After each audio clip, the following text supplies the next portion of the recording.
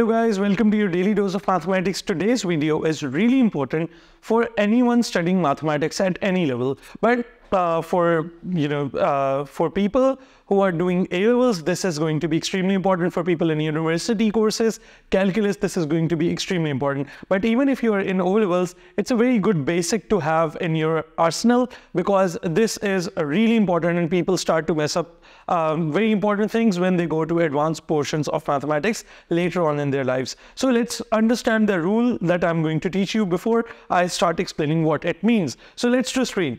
You cannot cancel or divide by a variable term unless you are confirmed that it is a non-zero term. So we can only cancel with terms which we are sure that they are non-zero. If they are not sure, if we're not sure that they are non-zero, we cannot cancel with them. Now let me explain that with a lot of examples in this video. So just stay with me, it will get clearer as we go along. So number one, first of all, so I'm going to write a very basic example. I'm going to write x squared is equals to 4x. So what do you think over here?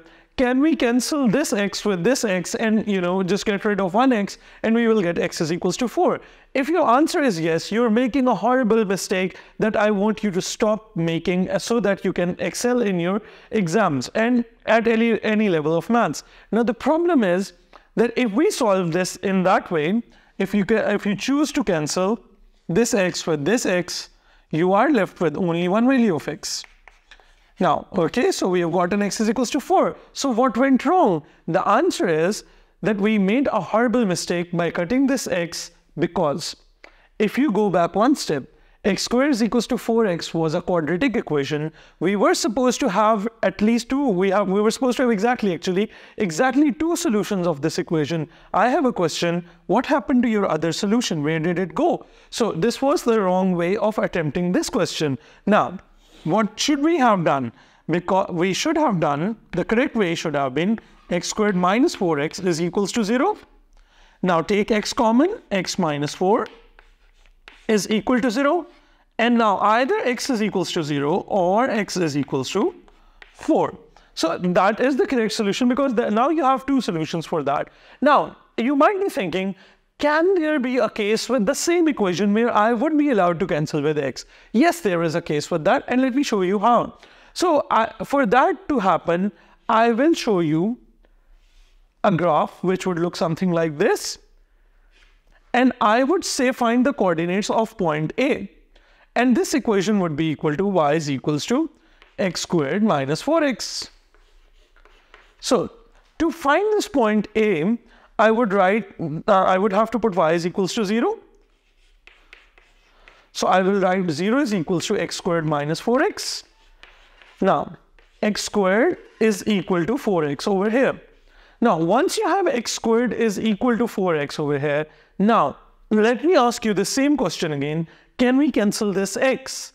Now, you might say no, but actually we can over here. How, how is that possible? Because we are solving for point A at point A, we can clearly see on the diagram that x cannot be 0. The diagram was provided for this purpose. So now I know that x is non-zero and if something is confirmed as non-zero, you are allowed to cancel with that variable. Now you can simply cancel x and the final value of x will be equal to 4 which will be the value of a at this position and so for the same equation there are different variations possible but that all depends upon what the question gives you as basic information so you cannot cancel with a variable unless we are sure that they are non-zero. For example, for this equation, if no data is given, you cannot assume x as non-zero. You have to solve for both values of x. For this part, we saw that it was given that a was non-zero and hence we were able to cancel this. Let me show you another example which is very similar. So now I have equation very similar to this that is n square is equals to 4n. But now this time I'm going to change the instructions a little bit. I'm going to tell you that this is now, we're not no longer in algebra, we are now in the chapter for sequences. And for sequences, we are familiar that n represents the term number. n represents the term number over here. So we know that n is a term number. Now I have the same question for you again. would you cancel n over here, yes or no? So if your answer is yes, that is actually correct. How is that correct? It is correct because n is the term number. We know that term numbers cannot start from 0. Term numbers are always integers starting from 1, 2, 3 and so on. So any sequence will always have term number starting from 1. It is confirmed that a term number in any sequence cannot be 0. Now if you're so sure about that, now you're allowed to cancel with n and there is no trouble in cancelling with n over here. So this is a very fine example of where we have a similar equation and you can fearlessly cancel with n. So this is another example. Let me take you to another example and that's actually very interesting. The equation would stay same just by changing the domain of the question, I will change the rules. So let me explain how is that possible. So for example, if you have sine x is equal to, uh, sorry, 2 sine x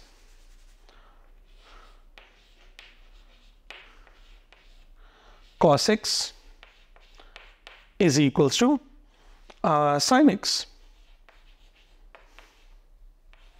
Uh, the same equation is over here, 2 sine x cos x is equals to sine x.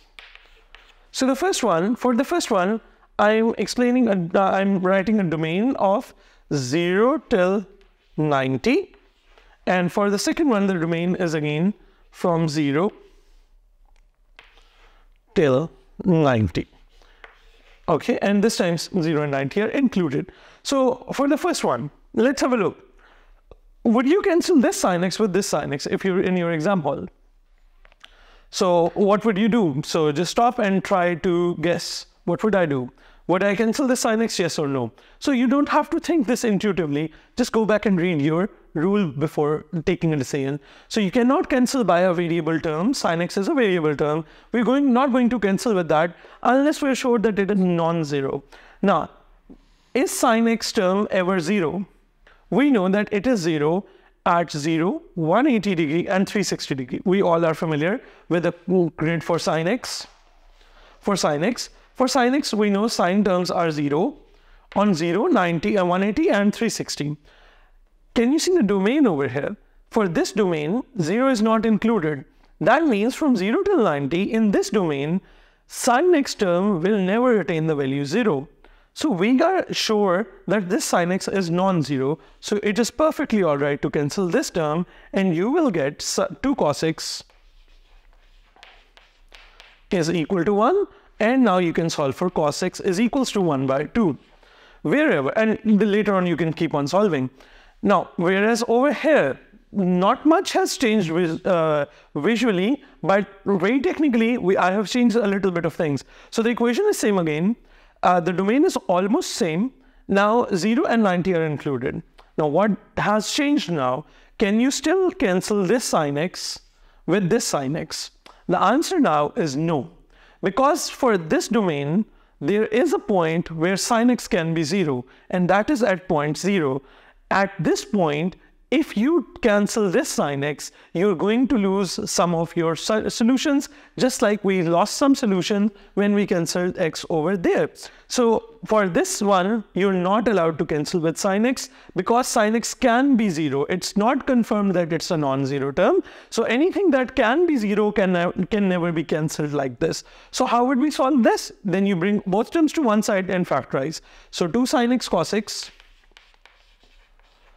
minus sin x equal to 0. Take sin x common. So 2 cos x minus 1 is equals to 0. You will have two separate equations. Either sin x is equals to 0. That will give some solutions to you in this domain. And 2 cos x minus 1 is equals to 0 that will also generate some solutions. So these are like quite handful of examples and there are many more examples uh, where we cannot cancel variables and they're very similar to each other. The thing is that you have to be really particular about it. You have to be really attentive about this. So I would just, I always tell my students to take this precaution. Whenever you're canceling with a variable term, just go and check in the entire question. Is there a hint that that number, that variable term can never be zero.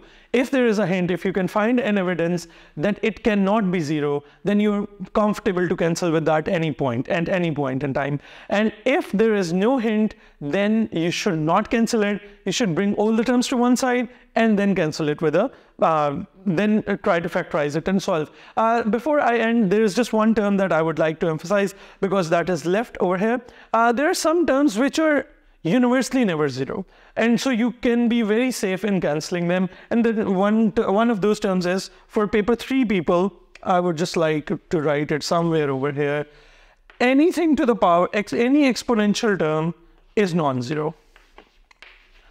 If you ever have any exponential term, e raised to power x, 2 raised to power x, 5 raised to power x, whenever x is in the, uh, in the power, any e raised to power x, any exponential term is always non-zero. So whenever you're canceling with an exponential term, you don't have to think about this rule. You can comfortably cancel with those rules. So I think I have comprehensively covered all of the variables that can be covered over here. And I am, I think I have not skipped any important examples so far. So if you have uh, understood what I have just explained here, do share it with someone who does not know this. And there are a lot of a lot many people who do not know about these uh, this property, and it makes them suffer in exam halls and in general at mathematics whenever we go to pure further mathematics. So please do share it with people so that many more and more people can understand and apply this in their mathematics. If you have any queries, if you have any questions, any cases you want to discuss, do leave a comment, uh, do leave a comment in the comment section below and I will see you in the next video. Take care. Goodbye.